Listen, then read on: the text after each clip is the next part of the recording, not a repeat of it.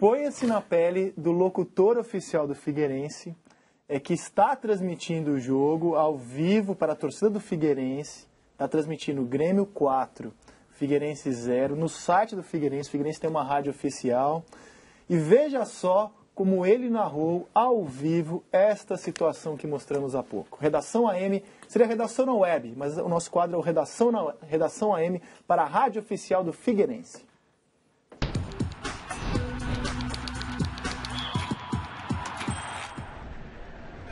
Esquerda, bola na direita aqui para o Marcelo Moreno. Vai fazer o cruzamento. Pode invadir a área, toca no meio, vem o Grêmio. É boa jogada pelo meio. Marco Antônio, toque no Marquinho Paquita. Wilson salvou, vai pintar o do Grêmio. No rebote! Tem o gol do Grêmio! Lima. Lima aproveitando o chute ali.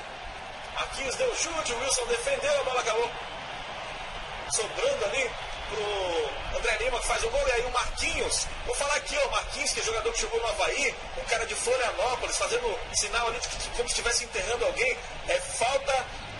É... Vou falar aqui que o Marquinhos, ó, vou usar o microfone do Furacão, ó, até forte que eu vou dizer aqui, o Marquinhos é um babaca, é um babaca, Marquinhos é um babaca, ele é daqui, ele jogou no Havaí, jogou, mas ele tem que respeitar a instituição figueirense, que é muito maior do que ele. Marquinhos, Marquinhos, família do Marquinhos que está nos ouvindo. O Marquinhos é um babaca. Teve mais também, tá? Só que a gente cortou no, no babaca para ficar em termos publicados para o horário. Sensacional.